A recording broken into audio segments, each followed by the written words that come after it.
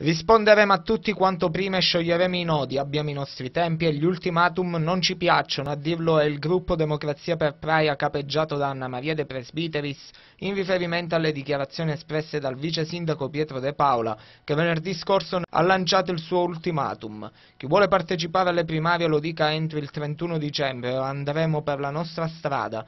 Queste le parole di De Paola che ha anche chiesto una risposta concreta proprio alla candidata di Democrazia per Praia Anna Maria De Presbiteris Biteris.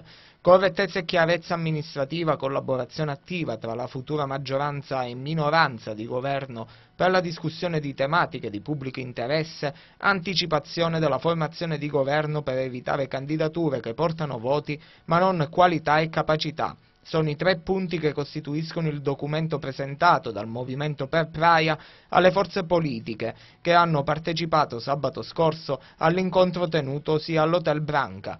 Una volta che i diversi schieramenti avranno costituito le proprie compagini, ha spiegato il portavoce del gruppo per Praia Antonino De Lorenzo, potranno sottoscrivere tale documento e renderlo un vero e proprio protocollo d'intesa.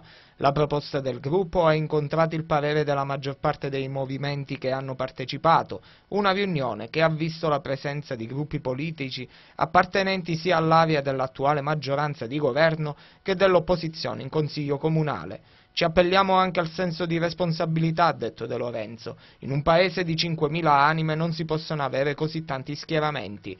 Concorde su questo commento anche il leader del movimento Rappresentiamoci Massimiliano Cedolia che annuncia entro metà gennaio presenteremo il nostro piano politico ai vari schieramenti, ha spiegato Cedolia, che però non maschera anche una certa delusione. Tanti schieramenti, tante belle parole, ma manca il dialogo e la capacità di convergere in un progetto unitario.